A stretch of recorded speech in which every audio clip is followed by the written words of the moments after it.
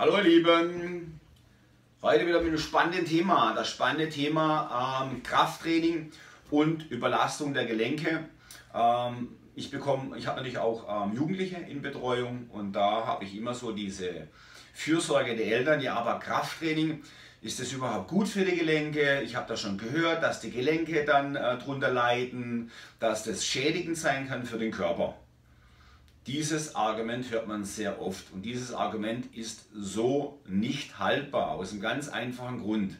Ähm, Kinder machen schon vom frühesten Kindesalter an alle möglichen dynamischen Sportarten. Also Fußball, Handball, Volleyball, da gibt es ganz viele Sportarten mit einer sehr, sehr hohen Dynamik. Ähm, zusätzlich auch im Sportunterricht, in der Schule gibt es natürlich viele Übungen, die natürlich auch ähm, Stress auf die Gelenke auswirken, wie zum Beispiel ein ganz ordinärer, einfacher Purzelbaum auf einer Bodenmatte. Je nachdem, wie äh, dieser Purzelbaum ausgeführt wird, kann der auch sehr belastend sein für die Wirbelsäule, weil man sich auf die Wirbelsäule abrollt. Nichtsdestotrotz sind wir nicht aus Porzellan. Das heißt, so schnell wird da nichts passieren, wenn man es mit Vorsicht ausübt.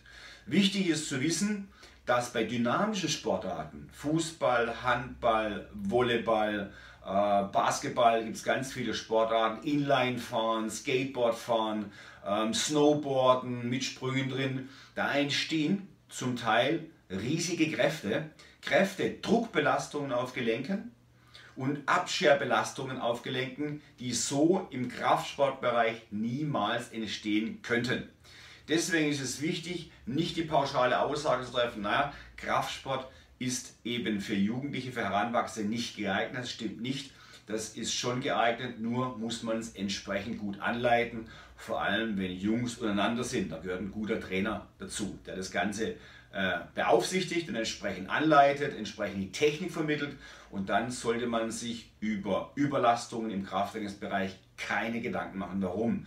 Überlegt mal, wenn ihr Fußball spielt, Basketball spielt, Handball spielt, Volleyball spielt.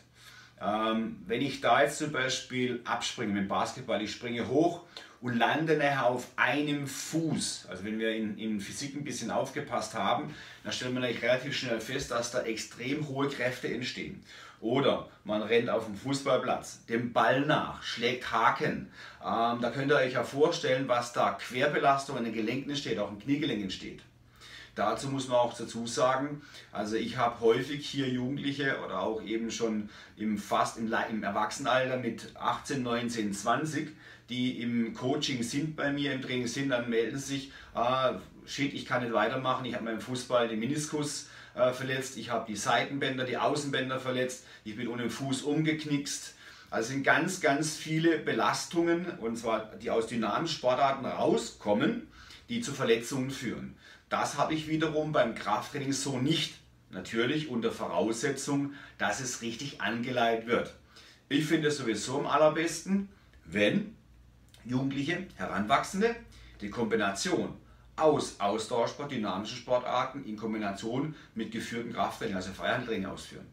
Weil wenn man beides kombiniert, erreicht man eine sehr, sehr hohe Gelenkstabilität.